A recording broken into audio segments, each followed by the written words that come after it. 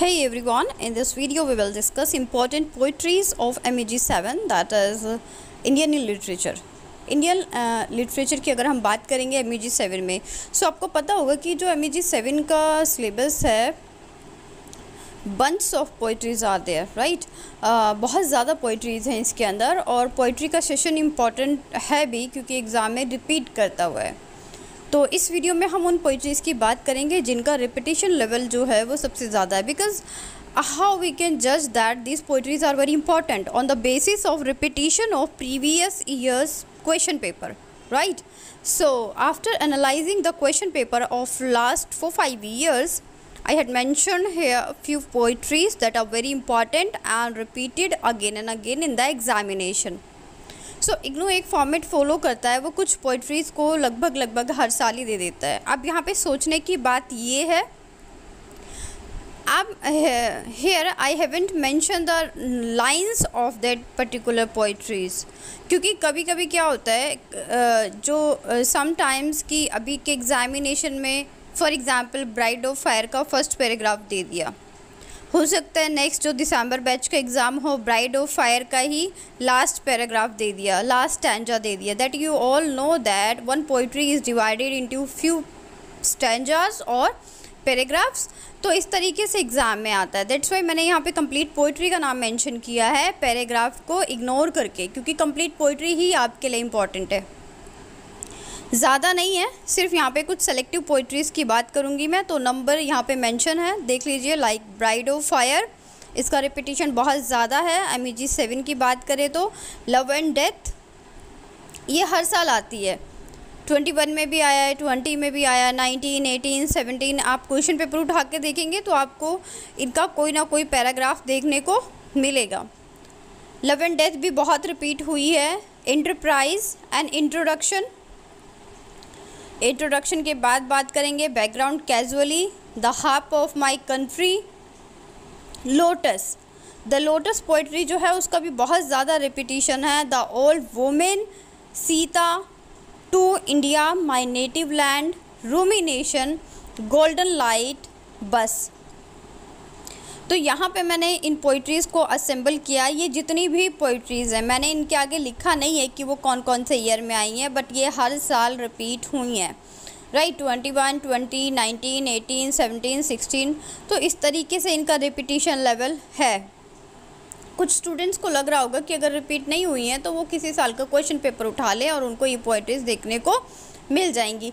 As you know the format of question paper आपको around five और six given होती हैं कभी कभी फाइव और six R T C given होती है, जिसमें से आपको फोर अटैम्प्ट करनी होती है कभी कभी आपको seven R T C given होती है, जिसमें से आपको फाइव अटैम्प्ट करनी होती है।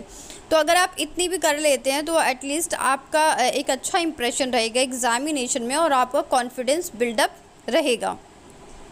ये तो बात हो गई कि इंपॉर्टेंट पोइट्रीज़ क्या होती हैं।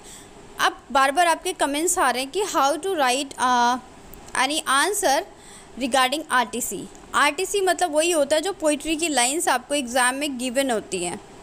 तो जब भी भी आप पोइट्री के आंसर को असेंबल करते हैं तो वहाँ पे क्या होना होता है? तीन चीज़ें आपको मेंशन करनी होती है।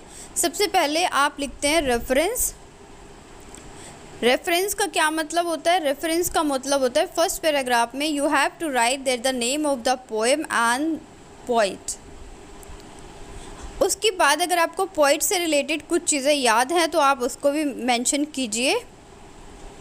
कि उस पॉइंट का कोई इंपॉर्टेंट वर्क याद है तो आप वो मेंशन कीजिए। और अगर उनके बारे में कोई अचीवमेंट याद है, कि उनको कोई मेडल मिला, पद्मश्री मिला या नोबल प्राइज़ मिला, कुछ भी मिला, अगर आपको जो भी उनसे रिलेटेड या आता है तो आप उसको फ़र्स्ट पैराग्राफ में मेंशन करेंगे। जहाँ पे आपने लिखा name of the poem and the poet नहीं आता तो कोई बात नहीं name of the poem and the poet लिखिए। पोएम के नाम को अंडरलाइन कर दीजिए और पोइट के नाम को अंडरलाइन कीजिए। अब नेक्स्ट जो पैराग्राफ है, वो क्या होता है? नेक्स्ट पैराग्राफ में आपको एक्सप्लेन करना होता है पोइट्री की लाइंस को। अब आप सोचेंगे कि पोइट्री में तो कभी कभी चार लाइंस गिवन होती है, कभी दो लाइंस गिवन होती है। So what you have to do पहले उन चार लाइंस को आपको इलेबोरेट करना है that what's the poet want to explain in these lines right तो उन लाइंस को इलाबोरेट करना है बहुत अच्छे से।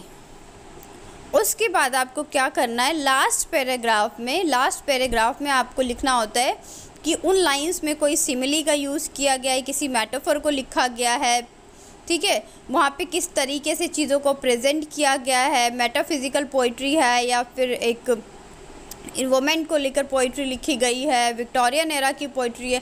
जो भी आपको उससे रिलेटेड याद है, आप उन चीज़ों को लिखेंगे। मतलब कि पोएम और पोइट के नाम को छोड़ के पोएम की एक्सप्लेनेशन को छोड़ के, जो भी उसमें ग्रामेटिकली चीज़ें यूज़ की गई हैं, उन चीज़ों को आप मैंशन करेंगे पैराग्राफ नंबर थ्री में। तो आई होप चीज़ें आपके लिए क्लियर हो गई हैं। अब कुछ स्टूडेंट के माइंड में क्वेश्चन आ रहा होगा कि सपोज़ एग्ज़ाम में फोर लाइंस जो आरटीसी की गिवन है उसकी एग्जैक्ट मीनिंग नहीं पता कि पोइट क्या कहना चाह रहा है, लेकिन आपको ये पता है कि कंप्लीट पोइट्री क्या बोल रही है। Right right? तो आप क्या करेंगे? अगर आपको कुछ नहीं आता तो उस केस में मैं आपको बता रही हूँ कि जो सेकंड पैराग्राफ है, वहाँ पे आप किसी भी पोएम की अगर समरी आपको याद है, या उस पोएम में क्या इलाबोरेट किया गया है, क्या मेंशन किया गया है then you have to write on it because something is better than nothing don't skip any question any point in the examination so stay connected बात करेंगे नेक्स्ट वीडियो में इंपॉर्टेंट शॉर्ट स्टोरी की और non fictional pros की. तब तक इनको complete कर लीजिए एग्ज़ाम से पहले. Your exam is on the way so good luck for the exams and don't take tension if you have any problem any query then write on the comment session I will try to sort out और I will try to give the answer और give the reply so stay connected thank you and good luck for your exams